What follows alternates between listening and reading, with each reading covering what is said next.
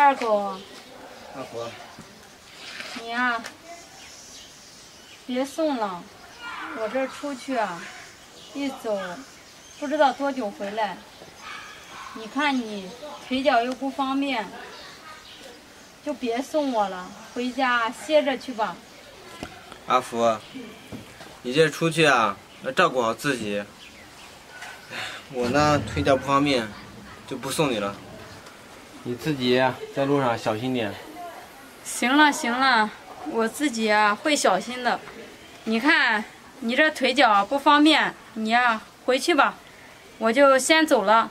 到时候我挣了钱，第一时间会给你寄过来的。我走了。阿福，路上小心呐。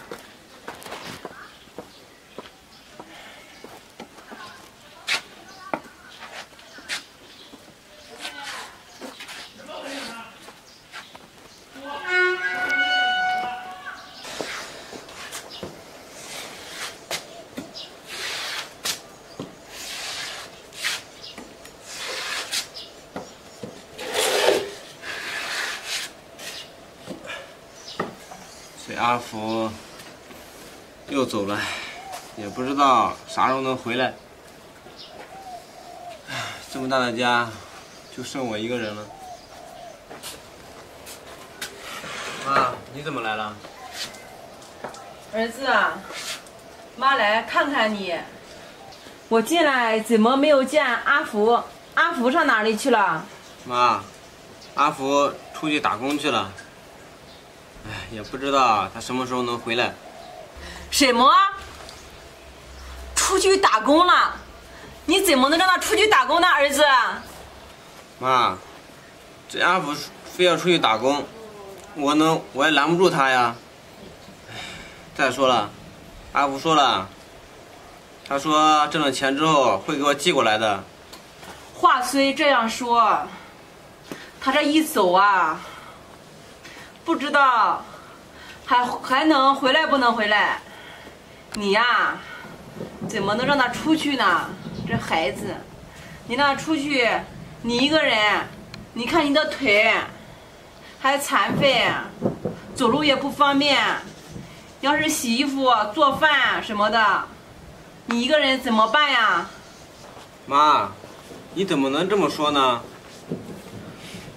我虽然说腿有点不方便，但是阿福对我挺好的。再说了，妈，现在家里挺方便的，不是有洗衣机吗？也不用我自己洗，挺方便的。如果阿福想不想跟我过，早就想跟我离婚了。二狗啊，这淑芬呀，不是这样的人，妈就放心了。你看，你一个人在家里，妈呀，实在是不放心。你有什么衣服没有啊？妈呀，去给你洗。在家里啊，没什么可洗的，都洗过了。洗过了，儿子。那妈呢？给你去做顿好吃的，你在这里歇着啊。妈去给你做饭。行妈。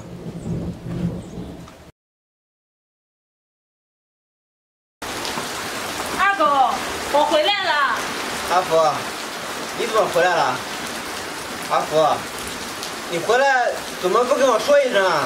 让我好去接你啊！我啊自己坐车回来就可以了。阿福，虽说我这腿瘸了，但是还能走路呀。你看你这出去都半年了，吃的苦不少吧？我没吃什么苦。对了，二狗，你看我坐了一天车，我也累了。等一下我去洗洗澡，就先睡了。你呀、就在客厅睡吧。阿福，咱们都结婚这么多年了，你怎么让我在沙发上睡啊？二狗，我不是跟你说了吗？我坐了一天车，太累了，你就在沙发上将就一晚上吧。行了，我不跟你说了，我啊洗洗去睡了。这阿福怎么回事啊？刚跟我分开半年多，就让我睡沙发，怎么回事啊？你看看去。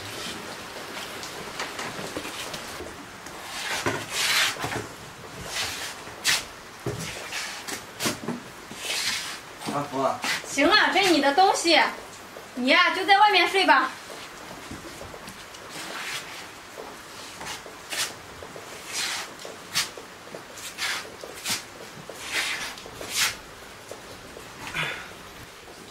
这阿福怎么回事啊？非得让我在沙发上面睡。这出去半年多，怎么变了个人似的？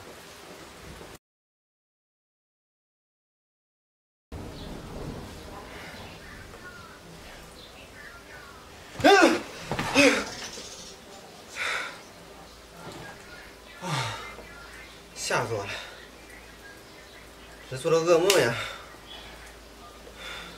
阿福，阿福，这阿福怎么回事啊？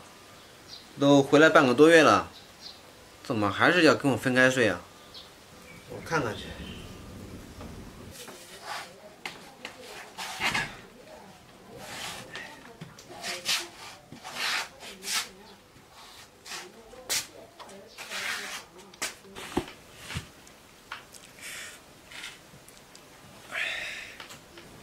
到底是怎么回事啊？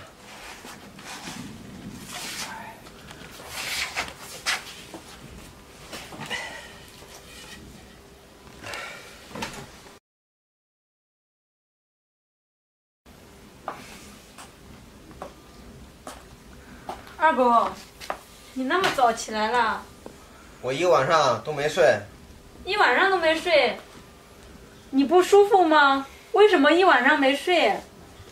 阿福，你老实告诉我，你背上的伤是怎么回事啊？什么什么背上的伤啊？你在说什么？我都不知道。阿福，你就别装了行不行？昨天晚上我做了个噩梦，被吓醒了。我呢，就到卧室啊看了你一眼，看到你背后有伤。